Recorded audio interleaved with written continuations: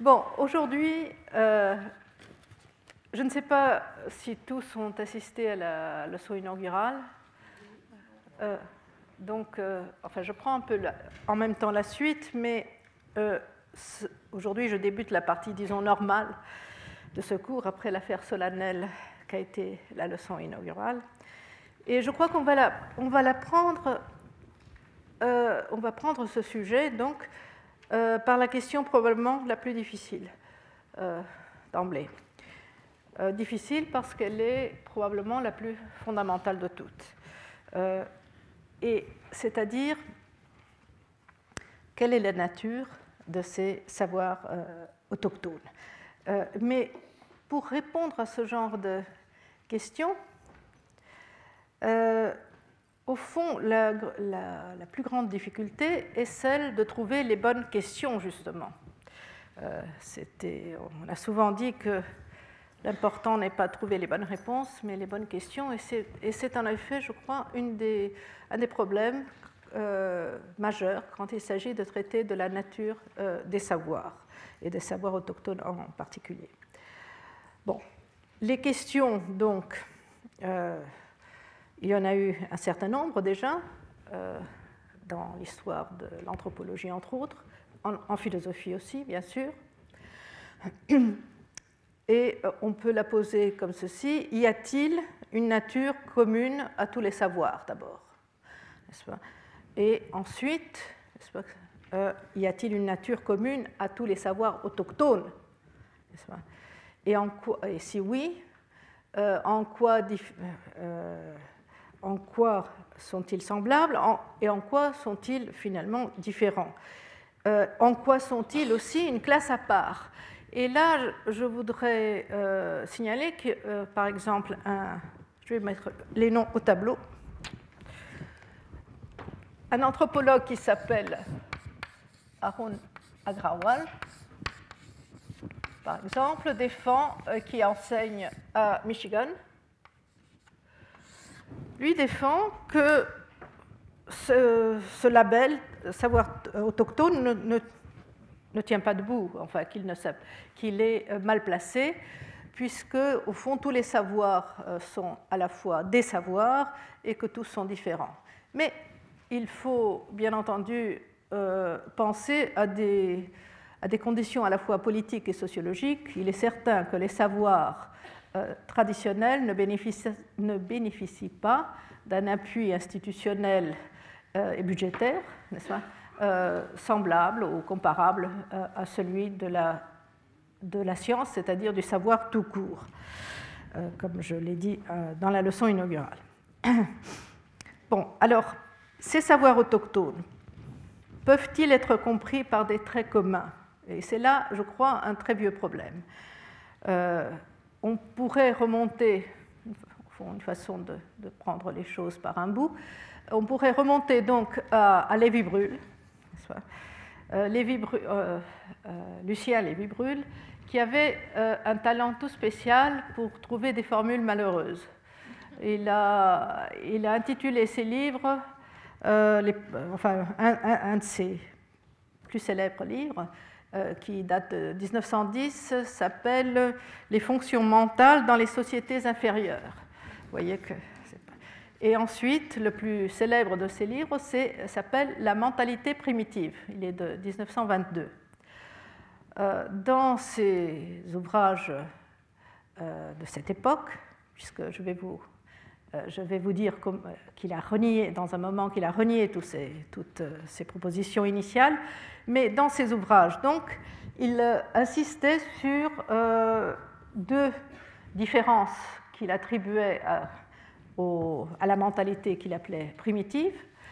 Euh, et ces deux différences, c'était, mettons, la première, une croyance à une participation mystique, disait-il, c'est-à-dire à l'idée qu'on pouvait être à la fois, par exemple, un un homme ou un ara ou un, oiseau, n'est-ce pas? C'était toute la question du totémisme qui était en jeu à ce moment-là. Et aussi, il, parlait d'une pensée prélogique. Et là, la, pensée prélogique avait ceci de particulier que elle avait une conception toute particulière de la causalité.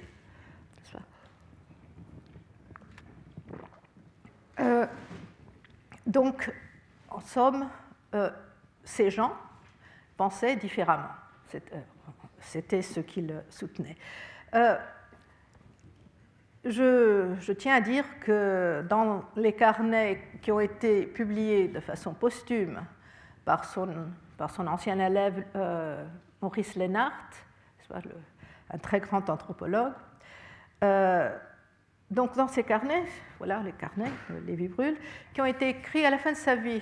Il est mort en 39 et en 37-38, il a écrit ses carnets. Non, en 38-39, il a, il a écrit ses carnets. Et là, il renie expressément toutes les positions prises dans ses premiers livres, n'est-ce pas? Et j'ai même sélectionné une citation, un exemple. Il y en a partout.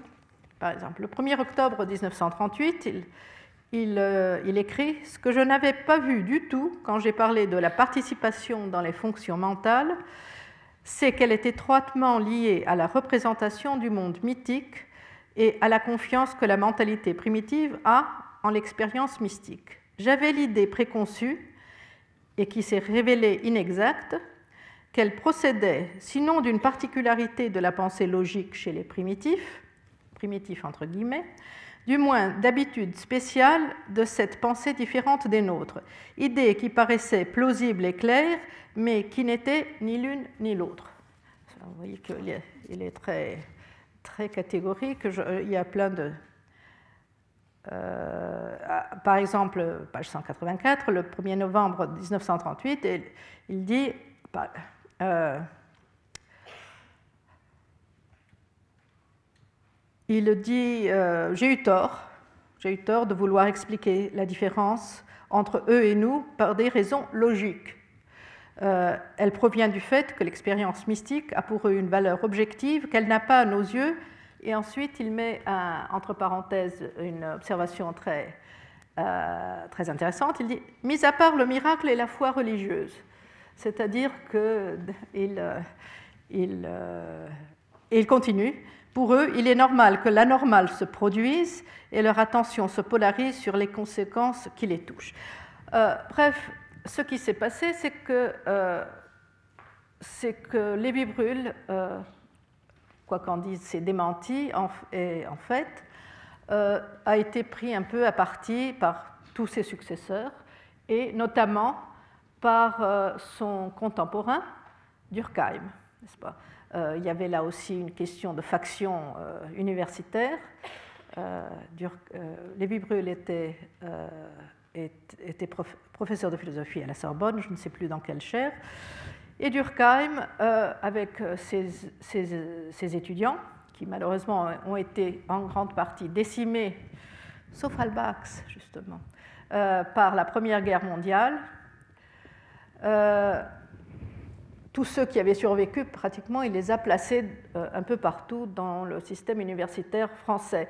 Ce qui veut dire que le groupe de l'année sociologique avait quand même une très grande prééminence, n'est-ce pas, euh, dans le système académique.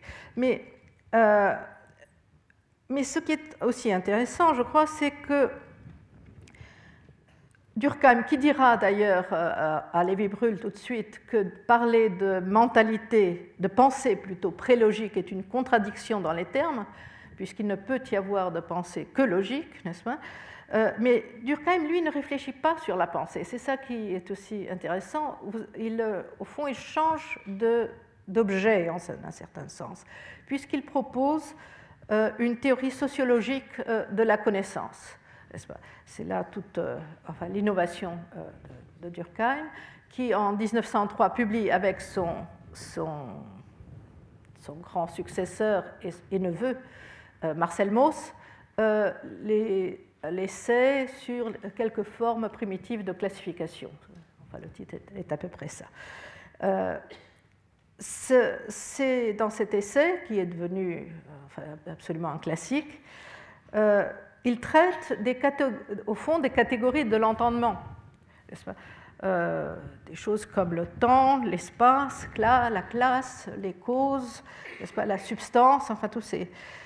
et ce qu'il en fait, c'est enfin ce qu'il fait de ces catégories, c'est de dire, au fond, toutes ces catégories découlent, n'est-ce pas, découlent de, et sont des euh, représentations euh, collectives.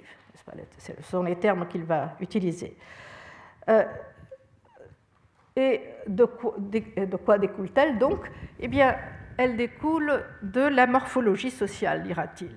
C'est-à-dire, elle découle de ces opérations logiques de la façon euh, dont le groupe s'organise euh, et donc euh, sa morphologie, morphologie spatiale elle-même, et au fond la façon dont il se conçoit divisé intérieurement. par exemple, ces, classes, ces clans, ces moitiés, toutes sortes de façons de, se penser morphologiquement. Euh, et puis, il dira aussi, Durkheim, euh, c'est un point important, que ces concepts, n'est-ce pas, et parmi les concepts, ces catégories-là dont j'ai parlé sont les plus fondamentales d'entre toutes, euh, ces concepts sont donc, en tant que représentation collective, quelque chose qui s'impose aux individus, qui en quelque sorte les précède, et que la société impose leur impose, n'est-ce pas. Euh, Et là, on commence à voir euh, chez Durkheim un problème qui est au fond récurrent partout, c'est-à-dire en fait que sont euh, ces, représentations collectives, n'est-ce pas? Est-ce que ces catégories ont un contenu, n'est-ce pas? Ou sont-elles simplement des capacités euh, de, l'entendement, n'est-ce pas?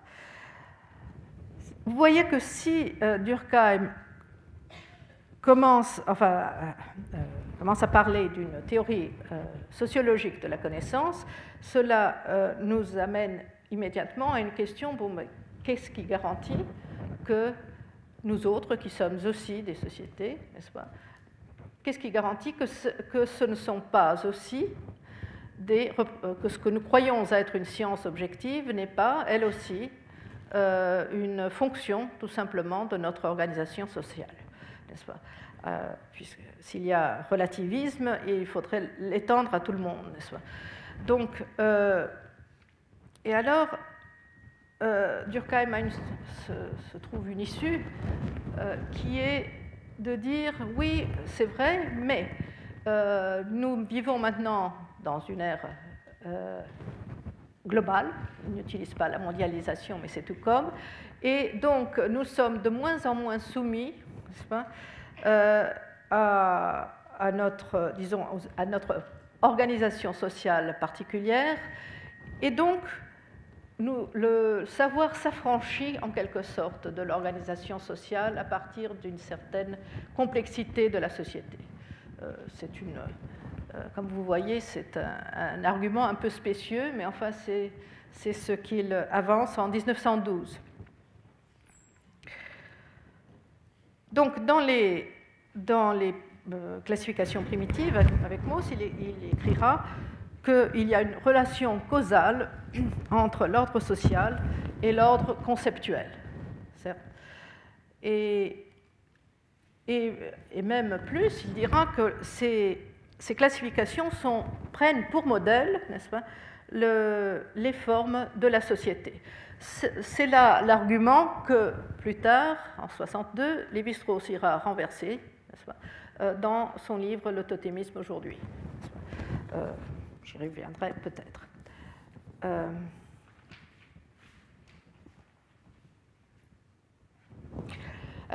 je voudrais d'ailleurs signaler qu'il est intéressant de voir que, en fait, Durkheim, en 1903, utilise des termes qui, sont très proches de, ceux de Lévi-Brûle. primitif, confusion, enfin toutes sortes de, termes qu'il disputera en fait avec Lévi-Brûle plus tard. alors, pour en revenir donc, à, ce, débat entre Lévi-Bruhl et, Durkheim, euh, je, vous, dirais que le, il y a un exemple classique, paradigmatique, qui est utilisé à tout bout de champ par tous les savants, euh, qui est l'exemple des bororos. Les bororos sont devenus euh, célèbres pour plusieurs raisons. D'abord parce qu'ils étaient le, point de, discorde entre les représentations, enfin, sur les représentations mentales, et bien plus tard, en 64, parce que c'est d'un mythe bororo que Lévi-Strauss va partir euh, comme son mythe 1, le mythe numéro 1, dans ces quatre volumes de mythologique, plus les trois autres, euh, mais euh, pourquoi les Bororo Eh bien, tout simplement parce que le, savant euh, allemand du 19e siècle, von den Steinen, avait, avait, séjourné assez rapidement, mais pour la première fois d'ailleurs, chez les Bororo du Brésil central, et qu'il avait rapporté que ces Bororo disaient qu'ils étaient des aras, alors, comment peuvent des hommes se considérer aussi des oiseaux? Euh, Et ce, mystère a fait couler énormément d'encre. Je dois dire que jusqu'à très récemment, on a continué d'ailleurs de, parler de ce, fameux euh, euh, dire Bororo. Et la dernière en date peut-être de ces explications est, bien entendu beaucoup plus contextuelle, est amusante. Euh, enfin, je ne sais pas si je vous la raconte quand même. Euh, le, un, ethnologue qui a, travaillé chez eux, John Christopher Crocker, euh, il a décrit, ces maisons Bororo qui sont qui sont typiquement formées par des beaux-pères et des gendres, que les beaux-pères font travailler, euh, et, donc plument tant qu'ils peuvent pour, euh, euh, enfin pour, comme une réciprocité pour leur avoir cédé leur fille. donc les jeunes gens sont, et, bien entendu, dans toute dans, dans, le village, il, y a beaucoup d'aras, dont d'ailleurs certaines photos sont, publiées par les Bistros, soit des aras plumés, dont les plumes servent à faire des, ornements. Donc la, comparaison que euh, John Christopher Crocker explique entre les Bororo et les lézards, c'est qu'on plume, les, jeunes gens se sentent plumés absolument par leur beau-père euh, en travaillant pour eux et en leur apportant les produits de leur chasse, etc. Euh, donc c'est tout à fait contextuel. Mais n'empêche que c'est un exemple classique. Et c'est un exemple classique que Lévi-Bruhl va prendre pour parler de ce qu'il appelle la participation, n'est-ce pas, un principe de participation. Euh, euh, qu'il dit être incompréhensible pour nous, il le dit en 1910, n'est-ce pas euh, Comment peut-on à la fois être soi-même et quelque chose d'autre que soi-même, dit-il C'est incompréhensible, euh, et c'est aussi, incompréhensible qu'il pense recevoir des forces, des vertus, des qualités et une influence mystique qui euh, sont senties comme venant du dehors. Euh, alors, quand. Et, Durkheim va lui répondre en 1912 qu'au fond, il n'y a pas de différence, dira-t-il, entre la mentalité donc, euh, que Lévi-Bruhl appelle primitive, et la nôtre. Il dit, euh, Durkheim dira, la, science contemporaine est plus objective parce qu'elle elle repose sur des observations davantage contrôlées. Euh, mais quand on dit que la lumière est une vibration dans l'éther, euh, quelle différence y a-t-il? Entre cela et de dire que le, que le Soleil est un oiseau ou que, l'homme est un kangourou. Et là, c'est intéressant qu'il ait pris cet exemple parce que justement, euh, l'éther, n'est-ce pas, a été euh, évacué, disons, de, des hypothèses de la science. L'éther qui était jusqu'à Michelson, le, supposé être le, véhicule, disons, de la lumière, n'est-ce pas Quand on s'est aperçu que la lumière prenait avait une vitesse, enfin, arrivait avec une, vitesse égale, quelle que soit la distance du Soleil, euh, on, euh, on s'est dit il y a quelque chose qui ne va pas. Euh, J'y reviendrai parce que c'est un exemple intéressant. alors, à partir de Lévi-Brûle, et en 1937 tout particulièrement, un ouvrage ethnographique va, va changer complètement la donne. Oui? C'est pas, pas bon? Vous m'entendez pas? Ah. Merci. Alors, euh, c'est Evans Pritchard, je pense que, qui est un anthropologue britannique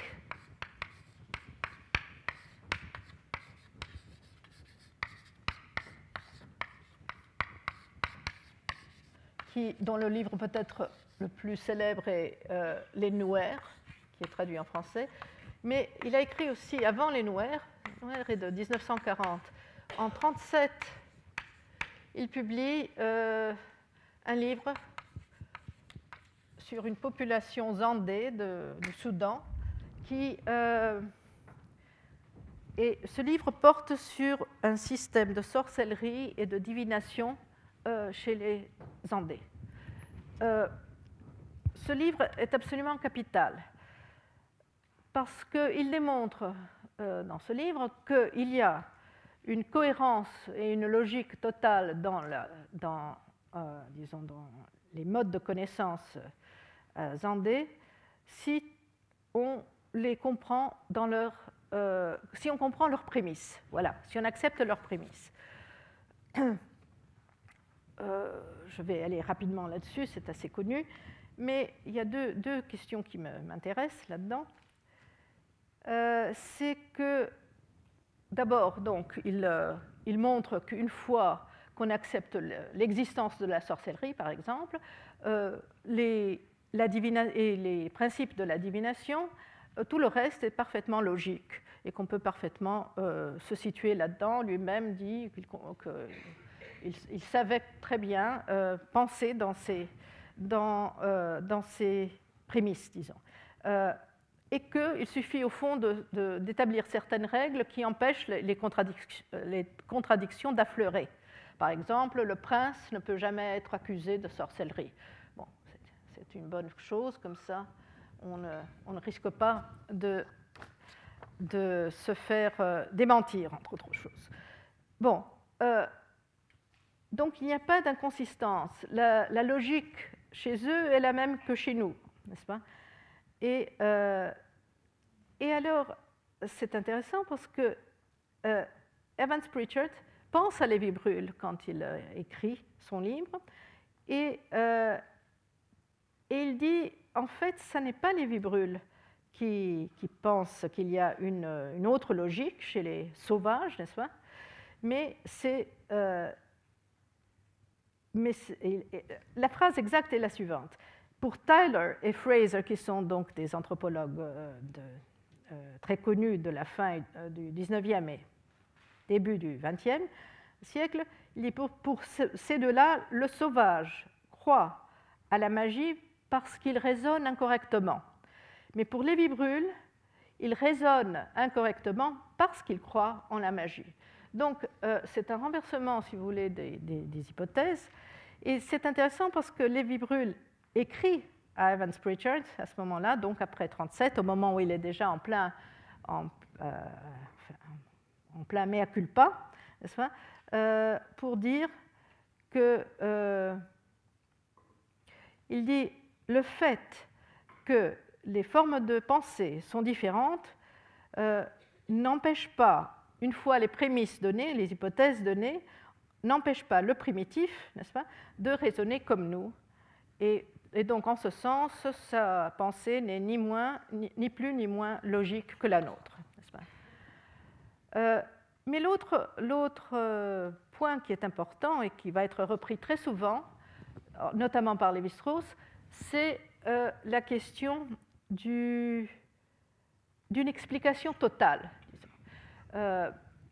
Evans Pritchard raconte, n'est-ce pas, que euh, comment il donne des exemples d'occasions dans lesquelles on invoque la sorcellerie. Euh, eh bien, par exemple, si un homme euh, va tirer un somme après, après son repas sous un, grenier, les greniers sont sur pilotis, et que ce grenier s'effondre sur lui, pas, c'est de la sorcellerie.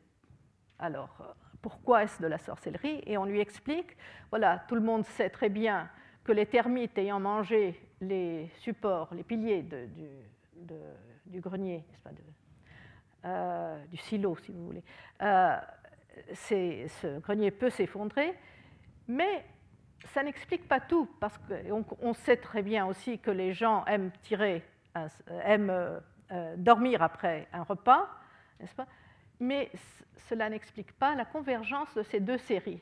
C'est-à-dire, cela n'explique pas que ce soit juste à ce moment-là que, euh, que, le grenier se soit effondré sur cet homme en particulier. Donc, euh, et, pour ce, raisonnement, c'est ce que les, les Andais appellent la deuxième lance. La deuxième lance, c'est une métaphore pour le fait qu'on on tue une proie avec une lance, mais il y a une deuxième lance, d'une certaine façon, qui l'achève. Donc, c'est la convergence de ces deux séries, du fait qu'il y a à la fois, n'est-ce pas, euh, deux explications logiques, mais qui ne euh, n'expliquent pas, au fond, quoi Le hasard.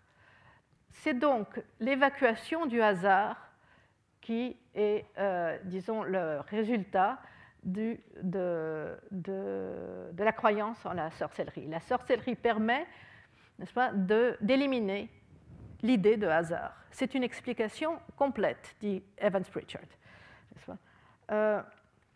Donc, on connaît les, on, est parfaitement conscient d'explications empiriques, mais euh, il faut clore, si on veut, euh, l'événement en éliminant le, hasard. J'ai dit, euh,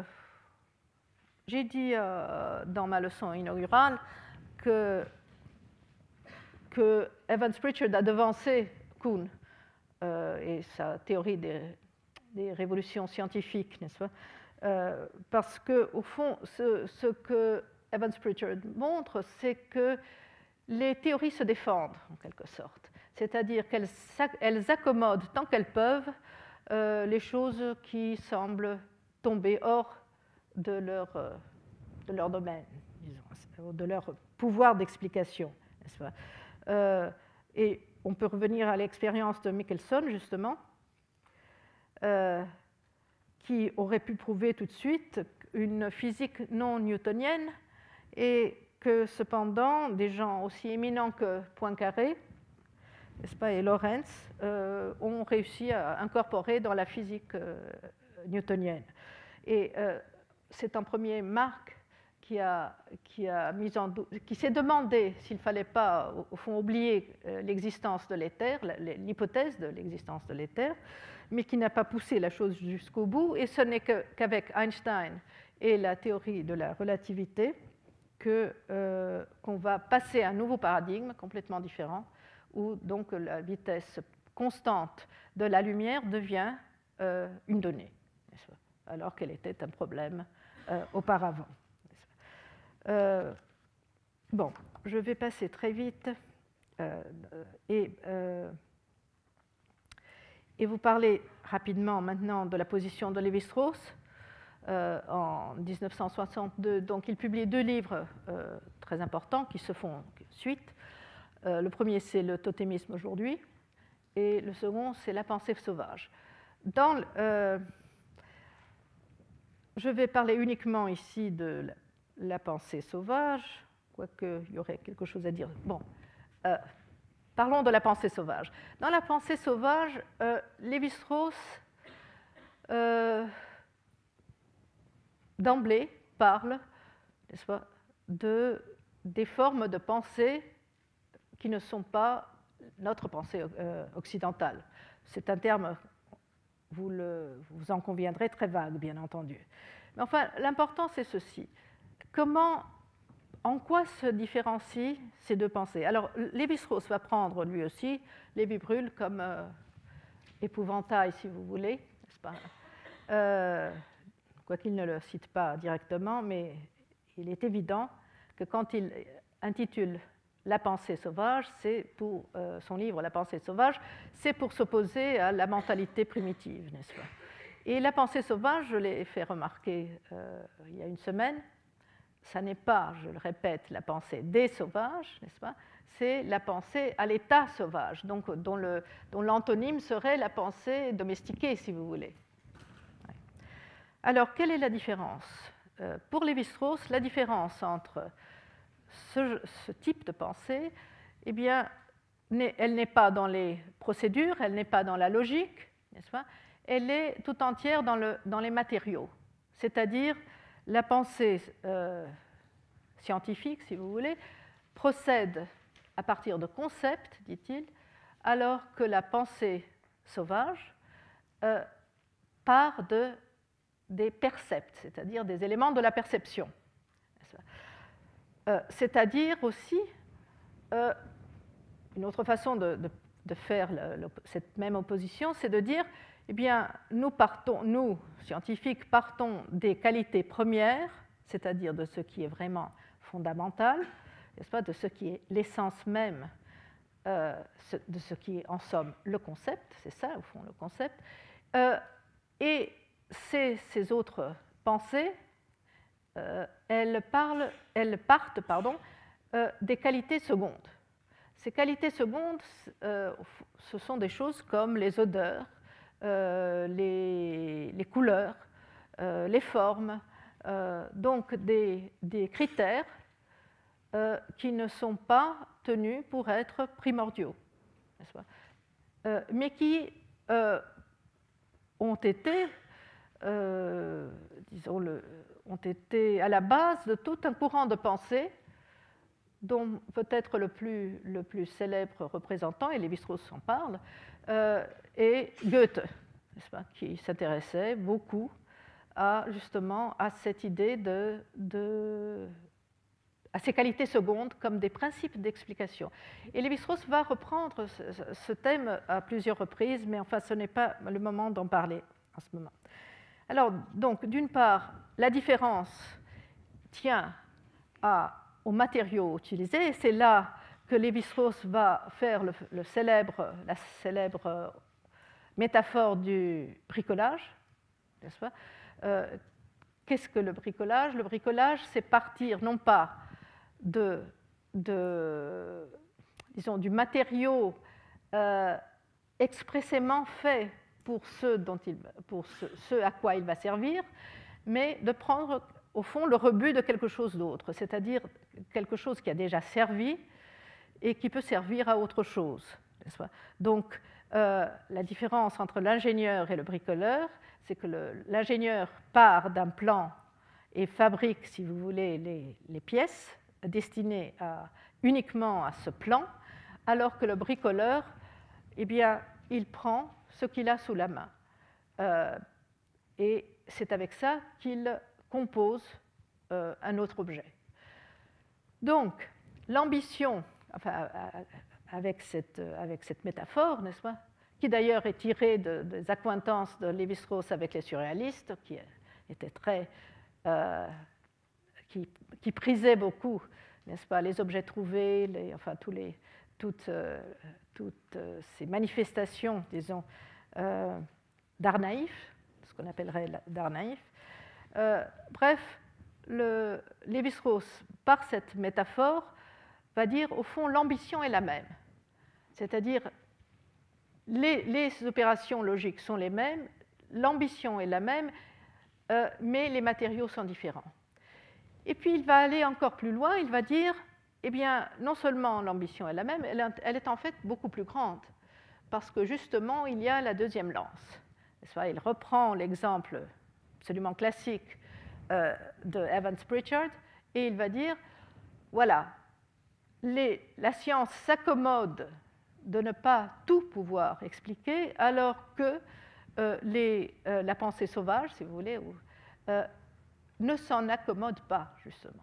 Elle exige une explication totale, complète, qui, ne laisse aucune place au hasard. Donc, l'ambition de cette pensée est telle qu'elle ne se satisfait pas d'une détermination à demi. Elle exige une détermination complète. Alors, je vous ai donné très rapidement un peu l'histoire de, ces débats, et je voudrais en venir maintenant à quelques approches contemporaines qui me paraissent euh, importantes des savoirs traditionnels. Alors là, je passe vraiment à, des courants qui sont, qui sont, comme je le disais, contemporains, mais qui nous viennent de deux traditions très différentes. Euh, une de ces approches vient d'une tradition cognitiviste, euh, D'ailleurs, elle se comprend elle-même, du moins au départ, comme une sorte de psychologie cognitive qui prendrait le large, Parce qu'elle reproche à la psychologie cognitive, justement, de faire ses recherches et expériences avec des méthodes très contrôlées, très, très bien très bien calibré, mais sur un sous-groupe très restreint, en revanche, de l'humanité. Euh, j'ai travaillé dans une, université américaine, dans tous les couloirs, on trouvait des, petits bouts de, des annonces disant Voulez-vous participer à un test euh, de, psychologie cognitive euh, Et les étudiants gagnaient 10 dollars pour se soumettre à, à ces tests. Donc, ce sont les étudiants en général qui font euh, euh, l'échantillonnage, disons, des tests de psychologie cognitive. Donc, euh, les anthropologues, bien entendu, trouvent que c'est très bien de faire des expériences contrôlées, mais peut-être faudrait-il aller voir un peu ailleurs, Et avant de poser surtout les résultats qui comme, euh, comme valable universellement. Euh, donc l'anthropologie, euh, quoique ayant des méthodes beaucoup moins rigoureuses, permettrait d'élargir les bases expérimentales de ces mêmes méthodes. Donc les questions que se pose cette école sont au fond les mêmes que la psychologie cognitive elle-même. Elle se penche par exemple sur les processus mentaux qui gouvernent l'acquisition de l'information la mémoire, n'est-ce pas euh, Elle cherche à contribuer aussi à, ce très vieux débat entre l'inné et l'acquis. Euh, c'est un débat qui partage les scientifiques, euh, bien entendu, pour ce qui est de la, de la cognition. Et elle se propose aussi de comprendre les savoirs autres en faisant la part de l'universel, n'est-ce pas, dans l'espèce humaine, et puis en s'interrogeant sur les sources de ce qui n'est pas universel. Euh, par exemple, quel est le rôle des schémas, des valeurs culturelles et quel est l'apport de l'expérience individuelle dans justement dans la cognition qui n'est pas universelle? Alors cette approche a opéré euh, deux choix. Elle a d'abord choisi comme terrain euh, privilégié le domaine biologique. C'est là d'ailleurs une constante. vous verrez que ça réapparaît ailleurs. et donc l'hypothèse est que le, domaine biologique va en quelque sorte de soi, parce que euh, l'expérience euh, de, l'environnement, de ce qu'on appelle l'environnement, c'est un, terme chargé aussi, euh, est supposément universel. Ensuite, il y a un second choix. dans ce domaine du biologique, euh, ce courant s'est attaché aux classifications dites naïves ou autochtones euh, pour les mettre en regard de nos classifications, mais dans un esprit très différent de ce que nous avons déjà euh, vu. ce n'est pas que les classifications scientifiques, qui d'ailleurs, bien entendu, ont varié au long de l'histoire, n'est-ce pas, que ces classifications scientifiques soient un paramètre absolu, destiné à donner la mesure euh, des écarts qui existent entre elles et celles des autres, mais au contraire, c'est pour ranger les classifications scientifiques aux côtés de, de, toutes ces autres classifications pour obtenir un échantillonnage aussi large que possible afin de déceler ce qui, en dernier recours, constitue l'objet de cette expérience, à savoir qu'est-ce qui est universel, qu'est-ce qui ne l'est pas, et dans cette dernière catégorie, les différentes causes euh, de la diversité des classifications. Et dans un sous-courant, si vous voulez, dans certains courants, s'ajoute à ces questions un souci d'explication évolutionniste des processus cognitifs. Euh, donc, cette anthropologie-là fait partie, au fond, d'un domaine beaucoup plus vaste, qui est la cognition, qui s'intéresse à des choses comme l'intelligence artificielle, euh, la neuroscience euh, et toutes sortes d'autres disciplines, la linguistique, euh, des disciplines qui, se, qui, peuvent se réunir sous ce label sciences cognitives. Alors, une toute autre, une toute autre approche, euh, celle-ci d'inspiration phénoménologique, est celle d'un anthropologue qui enseigne à l'université d'Aberdeen en Écosse, euh, Tim Ingold. Euh, alors pour saisir la façon dont, bon, je dis tout de suite, son, inspiration est, phénoménologique, n'est-ce pas? Donc un point de départ très différent. Alors pour saisir la façon dont il considère le savoir traditionnel, il faut situer son approche dans une démarche beaucoup plus générale. Euh, et d'ailleurs, disons-le tout de suite, il veut appliquer cette, euh, approche non seulement au savoir dit traditionnel, mais au savoir en général.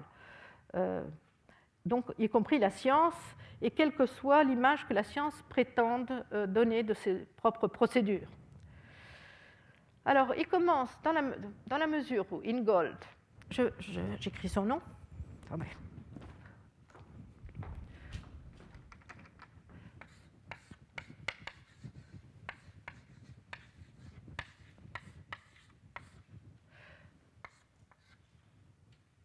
euh, j'ai omis de donner les noms, je ne sais pas si c'est important, mais enfin bref, pour vous donner quelques noms que j'ai omis de citer euh, sur les cognitivistes, on peut citer euh, Scott Atran, on peut citer Brent Berlin, plus ancien, mais toujours en exercice, et, bon, et Dan Sperber, que vous connaissez tous,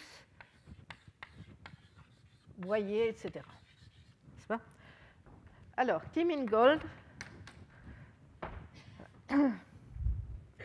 Ingold entend que le vocabulaire conspire pour nous donner une fausse idée euh, de la façon dont nous vivons dans le monde. Et donc il va commencer par procéder à une sorte de révolution du vocabulaire euh, euh, qui, pour lui, donne un effet d'inversion, n'est-ce pas? Et il va donc stabiliser ce renversement des points de vue habituels en, créant tout un nouveau euh, vocabulaire qu'il faudra que je vous explique un peu euh, pour que vous, vous en fassiez une idée. Et à nouveau, Ingold, c'est de bonne guerre. Euh, il, il, sait parfaitement qu'il caricature un peu, pour les besoins de son argumentation, la position qu'il prétend combattre, n'est-ce pas? Il faut tenir compte, bien entendu, de certains effets rhétoriques. Mais toujours est-il que Ingold débusque les traces de groupes d'idées qui se soutiennent en effet les unes les autres, et certaines de ces idées euh, relèvent d'un fonctionnalisme qui remonte à Durkheim, justement. C'est donc dire qu'en un certain sens, il enfonce des portes ouvertes, mais qu'il le fait d'une façon très intéressante et systématique. Euh, et alors, par exemple, euh, un de ces ensembles d'idées qui se tiennent les unes les autres nous amènerait à nous penser comme occupant une position elle-même close et donnée d'avance. Euh, alors, alors qu'il faudrait, au contraire, penser la vie de chacun comme un processus formés par les parcours mêmes que nous traçons. C'est pourquoi il va parler de habiter le monde. Vous voyez tout de suite l'aspiration phénoménologique. Il va parler d'habiter le monde. Il va utiliser euh, euh, le terme dwelling, habiter au fond, et non euh, occuper un espace. Alors il fait, il nous fait penser, enfin, il nous enjoint de penser en termes de mouvement, de chemin, et non pas de frontières et de limites. Alors par exemple, il fera un petit dessin, il fait beaucoup de dessins d'ailleurs. Euh, il dit voilà, euh, on veut que nous pensions à occuper disons, des, des positions, n'est-ce pas? Alors qu'il faut au contraire penser au chemin que nous parcourons, n'est-ce pas? Aux expériences au fond, à notre engagement dans le monde, puis il dira aussi, donc ceci, c'est euh, l'occupation. Et là, c'est le dwelling ou habiter. L'habitation, si vous voulez. Euh, vous verrez qu'il continue, n'est-ce pas? Et euh, alors, il emprunte un terme à Heidegger qu'il lit d'une façon assez idiosyncratique. Euh, mais le terme est Lebensraum, c'est pas l'espace de vie, si vous voulez, Mais il dit, ce terme qu'il emprunte à Heidegger, dit-il, n'est pas une enceinte qui limite la vie, mais une, ouverture qui permet le mouvement et la croissance. Euh, il faut dire que Ingold a fait ses débuts ethnographiques auprès de pasteurs de Rennes, de l'Arctique. Euh, et il souligne donc la différence entre une vision nomade, faite de parcours, et une vision sédentaire faite d'occupation. Euh, de même, pour lui, les habitants, en ce sens-là, se feraient des chemins, c'est une entreprise, dit-il, unidimensionnelle, alors que les occupants prennent possession de surfaces à deux dimensions. Donc pour lui, habiter est tout différent d'occuper on ne vit pas à l'intérieur de places, on vit en cheminant à travers, autour, euh, vers et à partir de ces places. Euh, et cette expérience qui s'inscrit dans les corps, euh, l'expérience de ce mouvement ambulatoire, si vous voulez, Ingold le nomme wayfaring. Là, j'ai vraiment pas, je ne sais pas trop comment traduire, mais je propose cheminement wayfaring, cheminement, si vous voulez.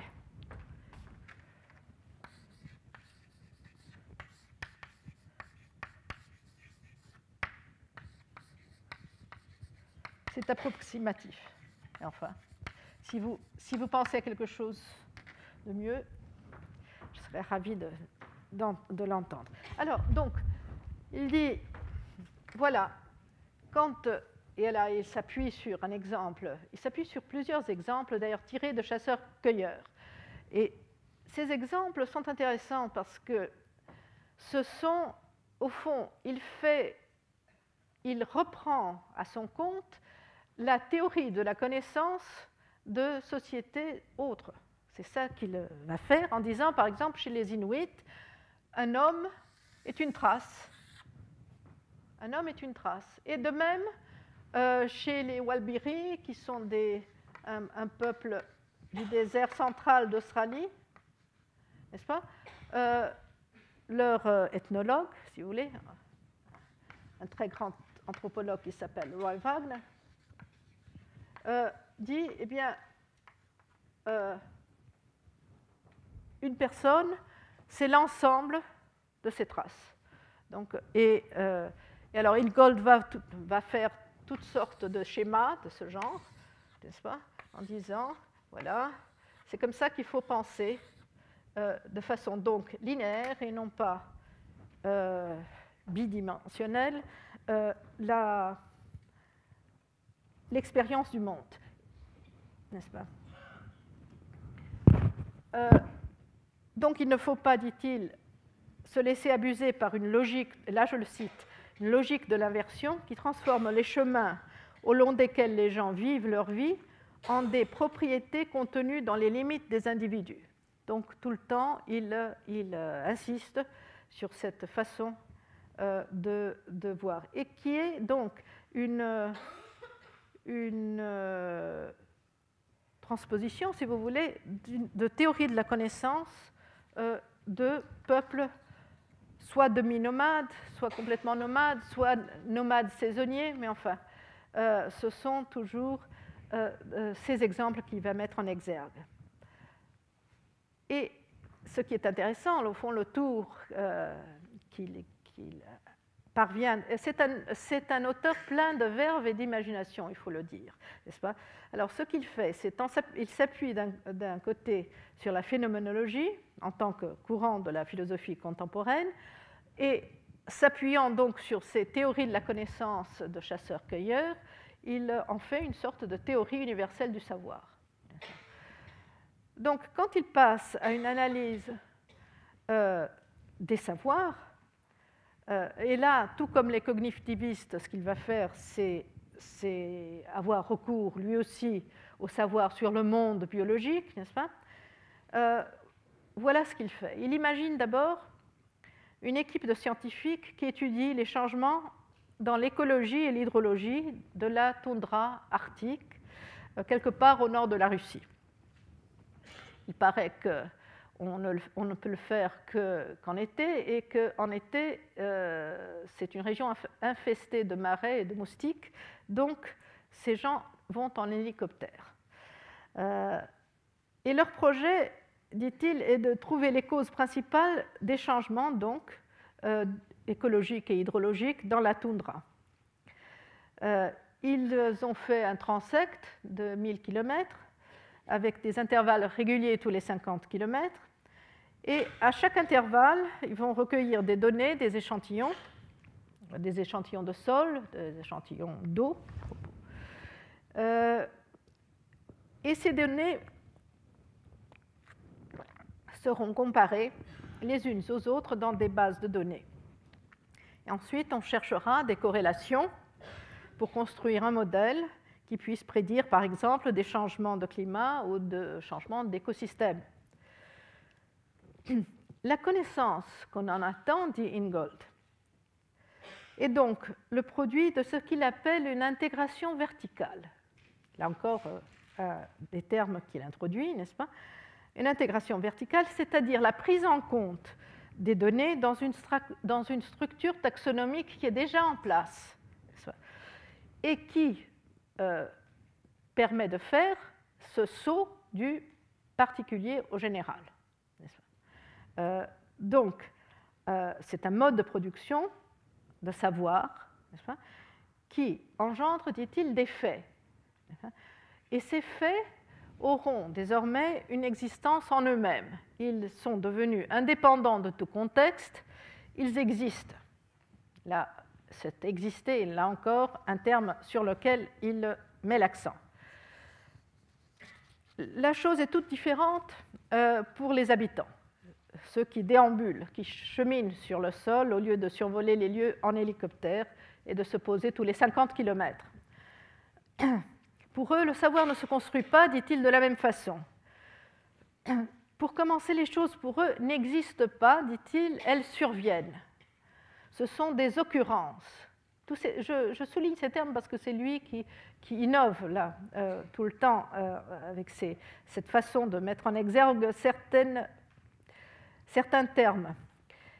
Alors, contrairement donc aux faits qui s'identifient par leurs attributs intrinsèques, les choses qui surviennent, donc ces événements, s'identifient euh, dans la mémoire qu'ils conjurent, c'est-à-dire ils sont présents dans la mémoire. Ils, euh, ils n'ont pas à être classés comme des faits, consignés comme des données, mais ces choses-là, ces événements, ont plutôt à être racontés comme des histoires. Euh, et le savoir, dit-il, n'est pas classificatoire, il est raconté. Alors, comment se construit ce savoir? C'est, dit Ingold, le mouvement lui-même qui est la manière d'accéder à la connaissance. Donc, plutôt que de penser que le savoir préexiste et est ensuite appliqué à, des situations pratiques, c'est la pratique elle-même dit-il, qui forment le, savoir. C'est donc un processus permanent construit, vous l'aurez deviné, par des cheminements, par l'engagement dans le monde, avec le monde, n'est-ce pas? Et l'intégration ne se produit pas verticalement, mais tout au long de ces cheminements. Donc, si le paradigme des connaissances verticalement intégrées est la classification, le paradigme, en revanche, de ce genre de connaissances est l'histoire que l'on raconte. Et l'accent sur la pratique et l'habitation dans le monde mène Ingold à nier toute transmission de savoir. Point important. Une transmission qui, dit-il, est aussi connue sous le nom de culture. Encore faut-il préciser, ce qu'il entend par transmission, euh, ce sont les contenus, l'encyclopédie en quelque sorte des connaissances des générations antérieures. Euh, mais c'est en fait une question d'accent, n'est-ce pas? Un accent sur les savoirs en tant que production plutôt que sur les savoirs en tant que produit. Si on, si on pense les savoirs en tant que produit, bien entendu, il n'y a pas de transmission. Mais si on pense les savoirs en tant que processus de production, façon de produire, euh, il est évident, euh, et c'est un aspect sur lequel j'ai écrit moi-même, il est évident que ce savoir-là est d'une manière ou d'une autre transmis. D'ailleurs, Ingold parle d'une sorte de redécouverte guidée, euh, ce qui, à mon avis, revient à dire que certaines prémices et certaines procédures sont bel et bien transmises, qu'elles le soient de façon explicite ou plus probablement implicite, qu'elles se fassent verbalement ou qu'elles résultent d'une manière partagée de vivre dans le monde, il n'en reste pas moins que l'air de famille se conserve, même si les contenus, eux, sont sujets à modification. Au fond, euh, il y a là une distinction qui est parallèle à celle entre conservation et préservation. Euh, ce qui vit et qui change doit être conservé ce qui est inanimé ce doit être préservé. Euh, donc on ne préserve pas, on conserve. La transmission, donc, que ce soit la culture ou le code génétique, est d'ailleurs pour Ingold un aspect d'une querelle beaucoup plus générale euh, avec ce qu'il appelle le modèle généalogique. Euh, c'est celui qui prétend que les spécificités génétiques et culturelles des individus préexistent à leur engagement dans le monde et leur viennent de leurs ancêtres. C'est ce qu'il appelle le modèle généalogique. Euh, je vais sauter. Oh, ma foi. Euh, je vais simplement vous faire remarquer qu'il est très curieux que quelques jours, y a, il y a quelques jours, la semaine, cette semaine même, euh, un neuroscientifique a reçu le prix Fissen de la Fondation Fissen euh, pour avoir mis en évidence des gènes qui peuvent placer des copies d'eux-mêmes dans d'autres régions du génome euh, que les leurs à l'origine et qui par conséquent modifient le génome au cours de la vie. ce qui démolit, entre parenthèses, la prémisse que des jumeaux identiques ont bien le même bagage génétique. il semblerait donc et là je cite euh, Fred Gage, qui est ce, savant, il, dit Il semble que nos cerveaux et les réseaux neuronaux qui les constituent sont toujours en changement et s'altèrent avec chaque expérience nouvelle. Donc, on n'est peut-être pas. Euh, parce que ce qui paraît.